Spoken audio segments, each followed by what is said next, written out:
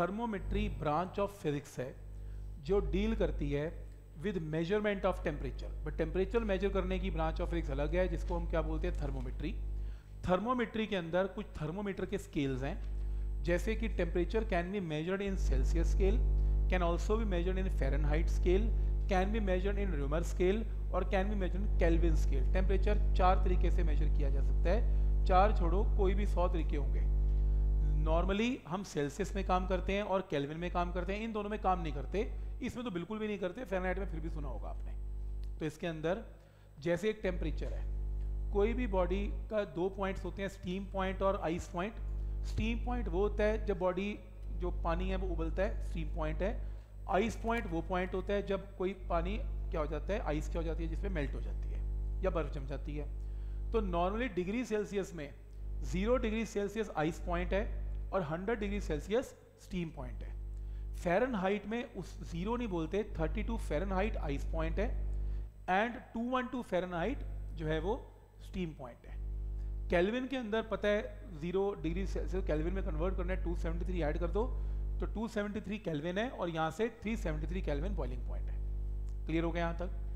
Lowest temperature which can be measured तो degree Celsius में सबसे दुनिया का कम temperature minus two seventy three degree Celsius measurable है।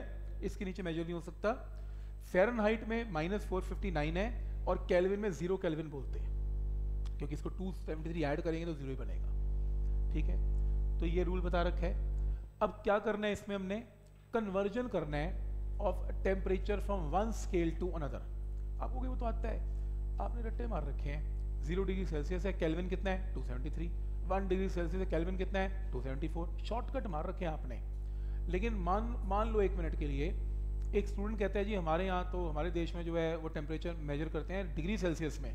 तो मैंने कहा, बोला, तेरे, मान लो एक बॉडी का टेम्परेचर साठ डिग्री सेल्सियस है।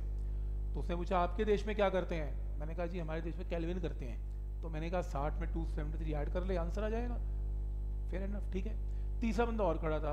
वो कहता है, जी, हमारे देश में तो हमारे देश में फ़ैन करते हैं फ़ैन चार डिग्री फ़ैन में आइस मेल्ट होती है हमारे यहाँ। नहीं ये पंखा मत देखो नाम है फ़ैन। और 120 डिग्री फ़ैन पे आ, पानी उबलता है। अब वो कहता है मेरा बॉडी का टेम्परेचर कितना है? सत्तर फ़ैन है सेवेंटी फ़ैन है। मैं सोच रहा हूँ यार सत्तर फ़ैन क्या होता है? तो अब मैं एक फॉर्मूला निकालूँगा उसकी भाषा को समझने के लिए कि उसने क्या टेम्परेचर बोला उसके कॉरस्पॉन्डिंगली डिग्री सेल्सियस में क्या बनता है इसे टेम्परेचर कन्वर्जन बोलते हैं। तो समझ में आ रहा है एक नया टेम्परेचर बना देना अपने स्टैंडर्ड में कन्वर्जन करना। तो एक बड़ा स्टैंडर्ड फॉर्मूला है। स्टैंडर्ड फॉर्मूला ये रहा। Temperature on one scale minus lower fix point divided by upper fix point minus lower fix point ये एक स्केल का।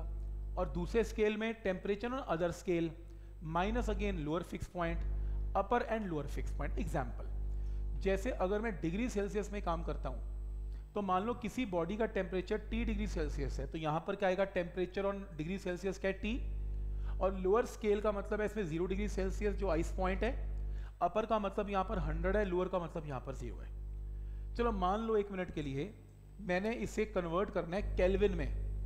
कैलविन में। चलो चलो, यहाँ पर क्या आएगा टेम्परेचर अदर स्केल पे टेम्परेचर इन कैलविन कैलविन में लोअर टेम्परेचर क्या होता है? 273 हायर क्या होता है? 373 लोअर क्या होता है? 273 तो अगर आप इन्हें सॉल्व करें, इसको छोड़ दें इसे सॉल्व करें तो ये टर्म है, इसे सॉल्व करें तो ये टर्म है हंड्रेड से हंड्रेड कैंसल तो देखो टेम्परेचर डिग्री सेल्सियस में क्या आएगा?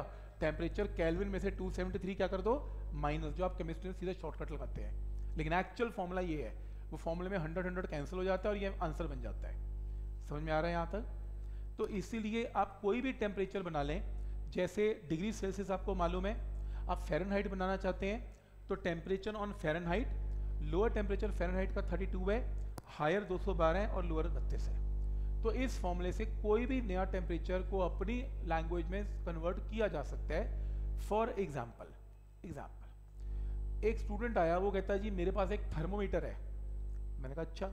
कहता है, उस थर्मोमीटर का नाम है फॉल्टी थर्मोमीटर भाई, मर्ज़ी है उसकी, अपना नाम, अपने नाम से रखे, राम, शाम थर्मोमीटर जो मर्ज़ी रखे। तो उसने कहा, जी फॉल्टी थर्मोमीटर है हमारे पास। Has it fix point marked at पाँच और पचानवे। वो कहता है, जी, मेरे यहाँ आइस फॉल्टी थर्मोमीटर में आइस पॉइंट आता है पाँच डिग्री और स्टीम पानी का वो बोलता है 95 पे। तो मैंने कहा, एक बात बता बॉडी का टेम्परेचर कितना है जो तू मेजर कर रहा है? वो कहता है बॉडी का टेम्परेचर मेजर करता हूँ, वो है 59 डिग्री सेल्सियस बात तो गलत कर रहा है ना? हम अपने स्केल में काम करें। हमारा स्केल ज़ीरो और हंड्रेड में काम करता है। तो अगर वो 59 बोलता है तो एक्चुअल ज़ीरो और हंड्रेड के बीच में बॉडी का टेम्परेचर अगर निकालना हो तो कन्वर्ट करके देखें, क्या फॉर्मूला है? डिग्री सेल्सियस में टेम्परेचर ज़ीरो लोअर पॉइंट है हंड्रेड माइनस ज़ीरो फॉल्टी में टेम्परेचर 59 है लोअर फॉल्टी का पाँच है, और अपर कितने हैं? कन्वर्ट करो आंसर साठ डिग्री सेल्सियस टेम्परेचर है उस बॉडी का, हमारी लैंग्वेज में।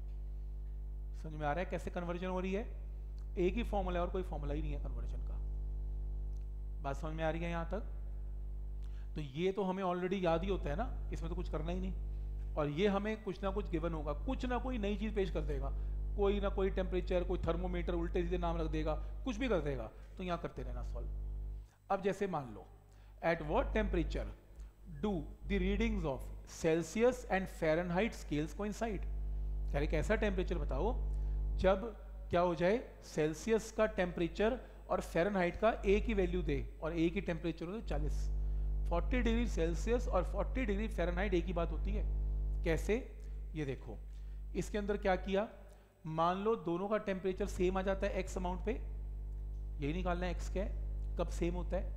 तो डिग्री सेल्सियस में T C minus zero by hundred minus zero और फेरनहाइट में टी एफ़ माइनस बत्तीस बाई वन एट्टी क्योंकि वो 212 में से बत्तीस गया वन एट्टी तो यहाँ से दोनों वैल्यूज़ पता है मुझे एक्स और एक्स है, क्योंकि हमने इन टेम्परेचर को क्या रखना है? सेम और बताना है सेम वैल्यू क्या है? जब एक्स और एक्स रखेंगे तो आंसर क्या आएगा? माइनस फोर्टी तो माइनस फोर्टी और माइनस फोर्टी डिग्री फेरनाइट एक ही बात है।